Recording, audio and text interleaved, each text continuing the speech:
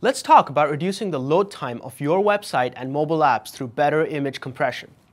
WebP is an image format that delivers significantly smaller file sizes than traditional image formats.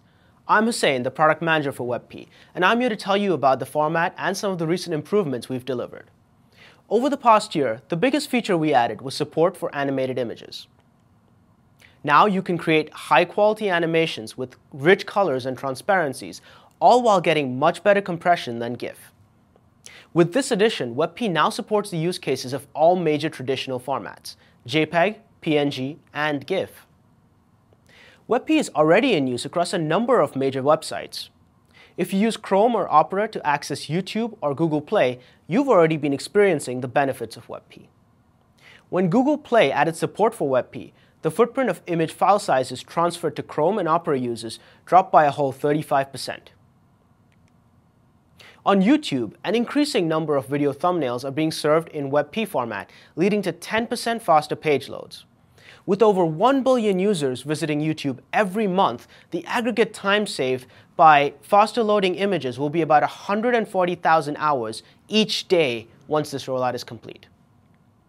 So you might be wondering, how can I get started with WebP? The good news is, getting WebP integrated into your app or website is easy.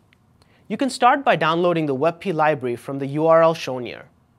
The included CWebP tool will allow you to convert your images to the format. Note that since not all browsers support WebP yet, you will need to fall back to the original image format when serving to incompatible browsers. WebP is so powerful that many major CDNs have implemented it on their side. That is, the CDN will be able to transcode your images to WebP and serve them to compatible clients on your behalf. So check with your provider because they may already be able to do much of the heavy lifting for you. If you don't use a CDN, consider the PageSpeed service, which amongst many other optimizations will automatically transcode and serve WebP images to compatible browsers. If you're the developer of a mobile app that has significant image content, you too can take advantage of the benefits of WebP. Android versions 4.0 and above natively support lossy WebP decode, and full support across all Android versions can be assured by packaging the WebP decode libs into your app.